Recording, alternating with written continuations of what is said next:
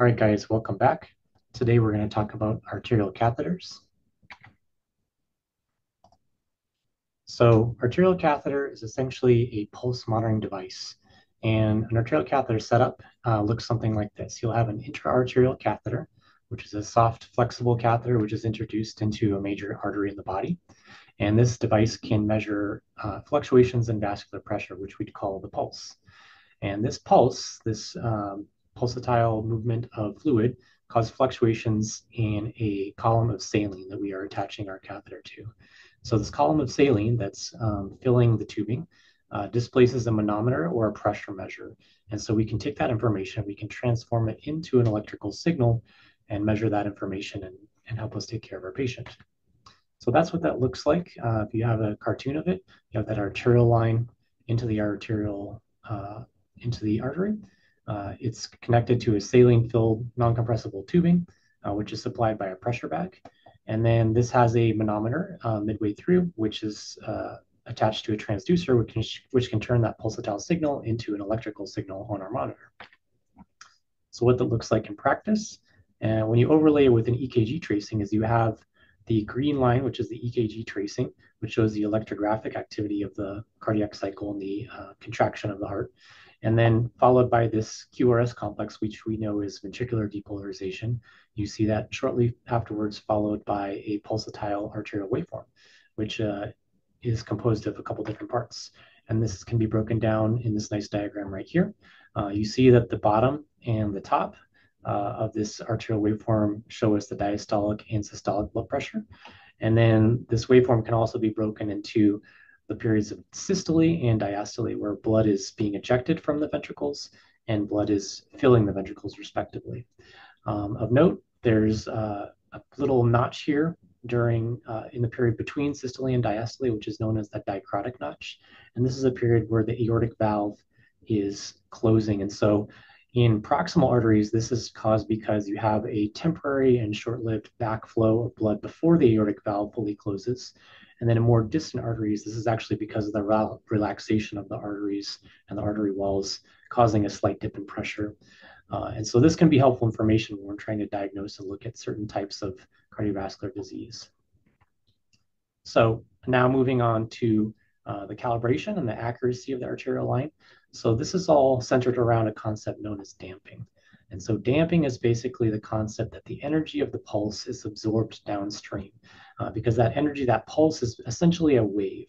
And so as that wave is transmitted down the artery, down the arterial system, down to the arterioles, which are those high resistance vessels before you get into a place of gas exchange, uh, some of that energy is dissipated along the way. And that really has to do mostly with the length of the blood vessels traveled and the resistance of the arterioles. And so you can think of this concept of damping as a shock absorber uh, that absorbs some of that energy, or it can also be thought of as a bouncing ball. So I like to think of this bouncing ball diagram, looking at how the energy kind of is bouncing less and less as you move uh, down the path of the bouncing ball. And so um, that's one way to conceptualize damping. And so damping uh, can tell us a little bit about the calibration of our arterial line. And like I said, um, there's kind of there's certain degrees of shock absorption that happen when you have that pulse, that wave uh, going from the heart down the arterial system. And so when you have a uh, arterial line that is underdamped, that's essentially uh, less loss of pulse energy along the arterial system. And so this is also colloquially known as a whip. Um, and that's because it's literally sometimes due to the, the tip of the catheter whipping around in a relatively large artery for the size of the catheter. And so that can be one mechanism for underdamping. It can also be because of tachydysrhythmias. So a lot of high intensity, uh, frequent heartbeats can uh, lead to more of a underdamping picture in arterial lines. And so what this looks like, because you can have uh, falsely high systolic blood pressures, falsely low diastolic blood pressures, and subsequently, as you might imagine, a wider pulse pressure. Interestingly, the mean arterial pressure is not impacted on an underdamped, or for that matter, an overdamped A-line. And so that waveform that we talked about earlier will show a faster rise and a faster fall. It'll be a little more sharper in nature as well. It'll be less rounded. And then it'll have uh, multiple oscillations on the downslope, which we'll talk about in a second. So that's what that looks like. You have uh, an arterial line that's kind of uh, centered and cleared, and then you try to evaluate its damping properties. So you look and you see this kind of sharp upstroke, uh, a relatively narrower waveform. And then on the downstroke, you see this kind of sawtooth pattern, which shows um, that there's uh, not as much shock absorption or not as much damping happening as this wave dissipates down the arterial system. So that's kind of what we see, what we expect to see when we're looking at an underdamped A-line. Now, on the other side of the coin, you have this phenomenon known as overdamping. And so overdamping is essentially more loss of energy as that wave dissipates down uh, the arterial system. And so um, because we think of damping as a shock absorber, intuitively you can can probably imagine a couple things that could cause overdamping when you're trying to troubleshoot your arterial line. And those include uh, things like large air bubbles, either in the catheter or in the artery itself. Uh, if the catheter is kinked or has a clot in it, that can certainly absorb some of that energy.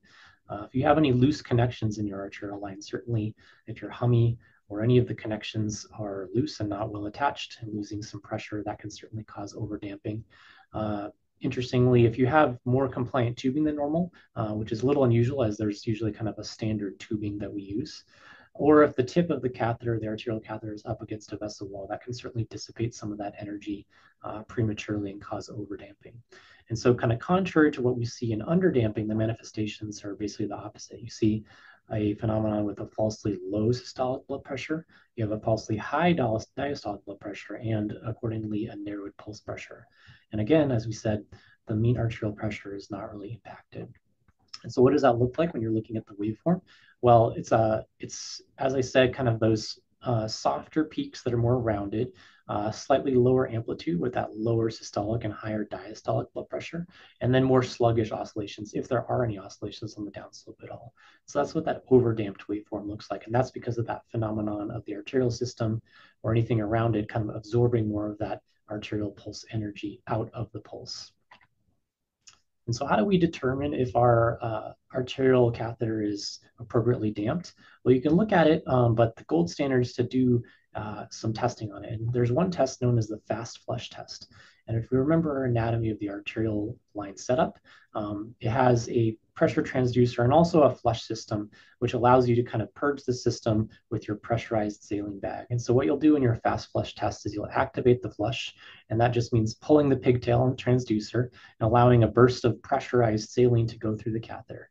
And so what you'll see is you'll see a square wave appear on the monitor, and then after that, you'll count the oscillations before the waveform returns to baseline. And so if you see more than two uh, oscillations, that includes both up and down oscillations uh, before it returns to baseline, we consider that underdamped.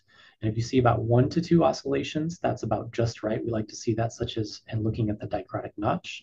And if you see none or one uh, oscillation before return to baseline, we consider that an overdamped A-line, which has too much energy being absorbed along the way.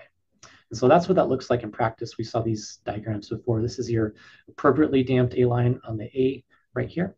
Um, B is that underdamped A-line, and then C right here is this overdamped A-line as we described. So um, how often are lines appropriately damped? Well, there's an interesting study by, done by Joffe and colleagues where they looked at 147 arterial lines in their uh, ICU, and they found that about 46% of the time were their A lines optimally damped. And then about 38% of the time they were overdamped and 17% of the time they were underdamped. And beyond that, the most interesting thing also was that the same damping result was not obtained uh, on necessarily on, on the same arterial catheter on the same day. So only about 64% of the time did they get the same result when they were repeating this fast flush test or this damping evaluation.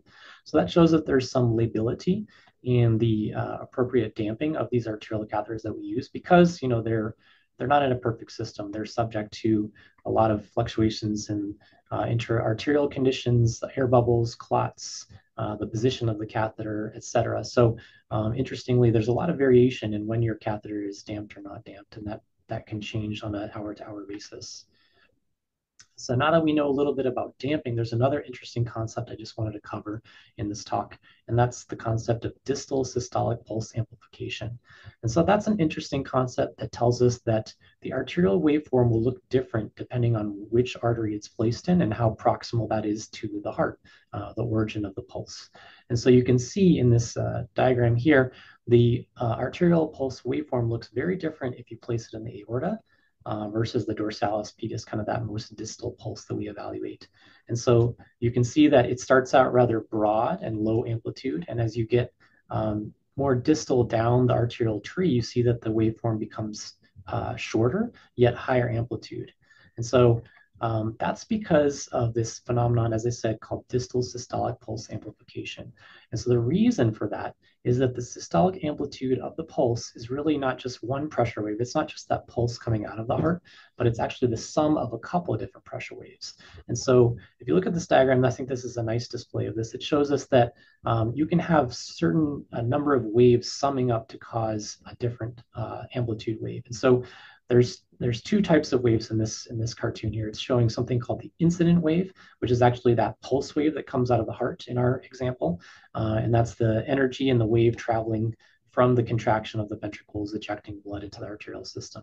And then on the other hand, you have something called a reflected wave. So when that pulse or when that um, that wave reaches the end kind of of its travels down at the arteriolar system, some of that energy is reflected back towards uh, the heart in kind of a retrograde fashion. And so if you have one incident wave summing up with a reflected wave as it bounces off the arteriolar system, you get something called a resultant wave. So that resultant wave is actually a different size and a different shape, and that changes depending on how close you are to the reflection point of the arterial pulse. So here's another cartoon I liked that kind of uh, describe this phenomenon. You can see on the left bottom of the diagram, you have the aorta, and then it kind of wraps around to the descending aorta, goes down uh, the arterial system, and then reflects off kind of this high resistance point, which is the arterioles. And so the reflected wave um, has a different amplitude depending on how close it is to where it originates. So you might imagine that as uh, as the reflective wave is just born, just kind of produced by bouncing off the end of this arterial system, uh, it's actually higher amplitude. And so it's a bigger wave that reflects and kind of sums up with that, uh, that initial wave, um, that incident wave. And so that's why you see this kind of different waveform and different amplitude of these arterial waveforms. And so if you'll notice this kind of uh, light blue wave in this in this uh, cartoon or this video, I think this is a really nice demonstration of how this phenomenon works. And so we'll just watch the top here as I click the video and see how that wave bounces off and, and see what it looks like light blue wave bouncing off right there and then coming back on the other side. So let's watch it again. You see that light blue wave bouncing off. Some of the energy is transmitted from there, but you can see that phenomenon where the light blue wave kind of bounces off its reflection point and then comes back. And that's also why you can notice this bottom one, you can see that that wave actually is negative amplitude. So you can see how that wave bounces. And that's why you actually see um, you know, lower diastolic pressures in these, in these waves. And so it's not just higher systolic amplitude, it's also lower diastolic pressures because that wave has both a positive and a negative deflection. So I think that's a really interesting concept to understand and to appreciate and to know that um, you know your, your arterial waveform will look different depending on where you place your arterial line. And so this is what this looks like again. Uh, the, the pulse uh, looks much different in the aortic root versus the dorsalis pedis and all the way along the way. Uh, so finally, you know, if we know that our arterial waveform really has a variable damping uh, properties. It, it, changes from hour to hour, and then also, you know, it can change depending on where uh, where it is located in the body. Well, really, what good is an arterial line? Is it is it really any better than a cuff blood pressure, which we sometimes use in the in the pediatric ICU? And the answer is, you know, it still is the gold standard. And this is uh, this information comes from that same study by Jaffe et al. Um, and they basically saw that while there was a relatively small median difference in the systolic blood pressure when they were correlating uh, arterial line and non-invasive blood pressures, only about half a point in the systolic pressure. They did see uh, a larger difference in both diastolic and mean arterial blood pressures when they were comparing uh, arterial blood pressures and non-invasive cuff blood pressures. And additionally, there was a rather large standard deviation. So even though the mean was initially not that different in systolic, you can see there was a wide variation in the, the median or the kind of standard deviation of uh, the systolic blood pressure and even in the diastolic and maps as well. So again, even though the arterial line has its own foibles and variability, it is still thought to be the, the gold standard as it is kind of a direct transduction of that intra-arterial pressure uh, moving a column of saline. So, um, so now that we know how the arterial catheter works, how we can calibrate it, and know that kind of its limitations, uh, I think it's just fun to look at a couple case studies and see what disease processes we can diagnose using our A-line alone. I think the key to this is just looking more closely at the amplitude of the waveforms that we see compared to normal, and then also the pattern of waveforms of these arterial waveforms. And that can give you a lot of really good information about certain disease processes you may be seeing in your patient. So first one we're going to look at, we have a grainy picture, a rather grainy cartoon of this arterial waveform. You can kind of hallucinate the dicrotic notch here and then the dystolic part or diastolic part here. And you can kind of see that this arterial waveform has a variable amplitude. You can kind of see that it's going from a large amplitude to a relatively smaller amplitude and back and forth every other beat. And so when you look at this, you have to wonder if there's something abnormal going on. This is not normal to see such regular variability in the arterial waveform. So thinking about this, you might be able to guess that with this alternating high and low amplitude waveforms, you may be seeing a heart that is having alternating ejection from both a filled and an underfilled ventricle. And so a good example of that is this phenomenon called bigeminy. And so when you have extra heartbeats outside the normal cardiac cycle because of an, uh, an irritable ectopic focus, you might see something like this on your arterial waveform. You might see every other beat. Um, you might see ejection from an underfilled ventricle because that beat is happening early.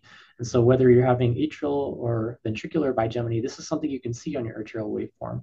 And that correlates nicely with electrographic electrographic activity, but you can really see it quite clearly on the arterial waveform as well. All right. Next scenario is, uh, again, you can look at the amplitude and the pattern of these arterial waveforms, and you see that as opposed to the last example, you have a small arterial, uh, arterial waveform amplitude, which becomes gradually bigger over a series of beats, and then becomes gradually smaller over a series of beats. And so thinking about this, the, the giveaway to this uh, disease process would be if I were to lay the respiratory cycle in parallel with this arterial waveform. And that's because you're seeing the systolic impulse vary with the respiratory cycle in this example. And so that's a concept or a phenomenon known as pulsus paradoxus. And so pulsus paradoxus can be caused by uh, things such as cardiac tamponade, constrictive pericarditis, or obstructive lung disease. And so pulsus paradoxus, just briefly, um, has to do with the respiratory cycle, as I said. And, and we know that during the respiratory cycle, inspiration causes a couple things to happen to the pressures in the chest, including the pressures in the lungs and the heart. So when you have, uh, when you're in the inspiratory part of the respiratory cycle, you see pooling of pulmonary venous blood. And so automatically, you know, you're seeing less LV preload because some of that negative pressure in your chest is causing less filling of the left atrium and subsequently the left ventricle. So you you temporarily during the inspiratory part of the respiratory cycle have decreased left ventricular preload. And then additionally, uh, you also have some increased venous return to the right side of the heart. So again, uh, you're seeing some blood pooling on the right side of the heart during that inspiratory part of the cycle because you're making a higher negative pressure in your chest, and that's kind of uh, encouraging venous filling of the right side of the heart. And so because you have um, some filling of the right side of the heart, you can also have compression upon the LV from the RV. And so this is something uh, where you see the, the interventricular septum bowing from the RV into the LV and actually causing direct compression. And additionally, um, in addition to the, the lack of preload, you see uh, less space for the LV to fill uh, during this cardiac cycle. So you, you have those things happening in tandem. And then finally, because you have a higher negative pressure in your chest, you have increased left ventricular afterload. So that the left ventricle has a harder time contracting because it's basically pulling against a negative pressure vacuum when you're in the inspiratory part of the, of the respiratory cycle. So these three things working together cause a high variation in um, your cardiac output depending on where you are in the, in the respiratory cycle. And that's more exaggerated in certain disease processes. Here's just a nice cartoon kind of showing that phenomenon, that pooling of venous blood, pulmonary venous blood means left uh, less left atrial uh, filling during the inspiratory part of the respiratory cycle. You have increased venous return to the right heart, as we said. So you see two arrows coming into the right heart here. And then you subsequently have some bowing of this interventricular septum, causing less ability for the left ventricle to fill. And then finally, um, not necessarily well pictured here, but you have increased left ventricular afterload because when you have inspiration and a high negative pressure in your chest, the heart is the FLV is not as able to eject without uh, using more force. So these these things happening together cause a uh, variation in cardiac output during the respiratory cycle.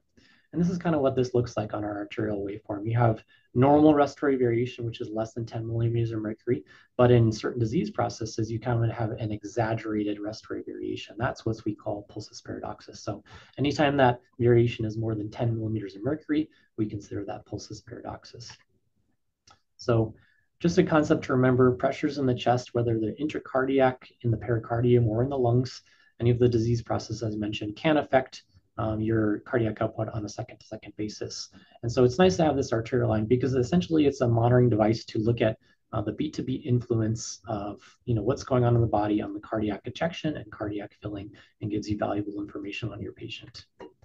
Here's some references for those that are interested on, uh, on these uh, topics, and then we'll continue on with more monitoring lectures to come.